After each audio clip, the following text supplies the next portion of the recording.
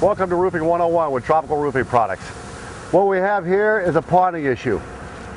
Ponding is a major problem in commercial roofing. You want to pretty much eliminate as much ponding as possible to keep the water flowing off the roof and keep contaminants, contaminants from resting onto the deck.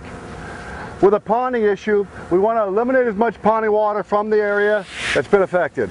We're just going to broom it off. Try and get it as clean as possible. Get rid of any debris, leaves, rocks.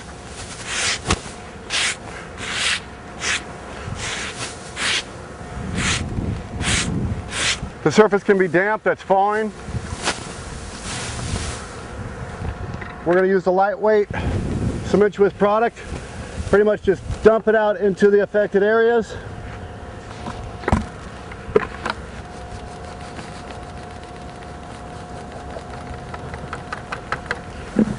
Then we're going to use a 2x4 to level it off.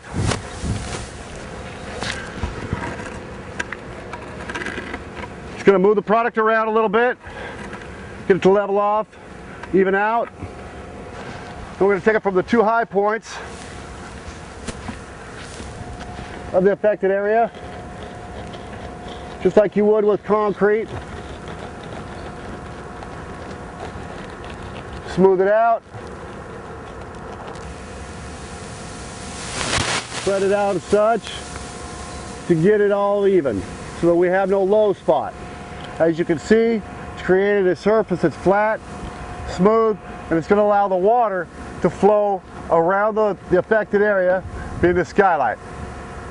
And remember, go tropical.